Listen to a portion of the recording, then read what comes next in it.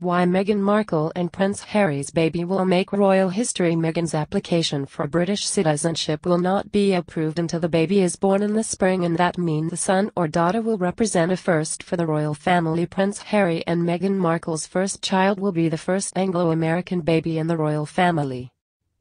The Duchess of Sussex has applied for British citizenship but it is thought it will not be approved before the baby is born.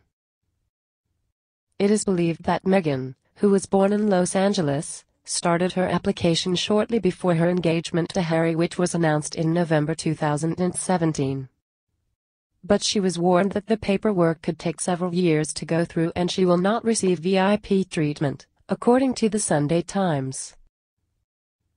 Rules state that a child born outside the United States to a married couple, one a U.S. citizen, may acquire American citizenship at birth.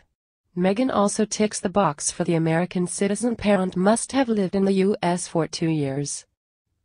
Hugo Vickers, a royal historian, told the Sunday Times, I'm quite sure we haven't had another British-American baby born into the royal family. But Meghan married an English prince so to all intents and purposes that the baby will be British. For whatever reason, we don't seem to pay much attention to the nationality of royal brides when it comes to their children we just subsume them into the royal family.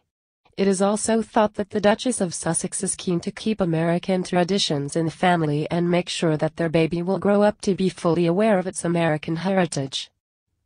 It still remains unknown whether Meghan will retain her American citizenship once she is British, but if she decides to do so all future children of the couple will also be born British American.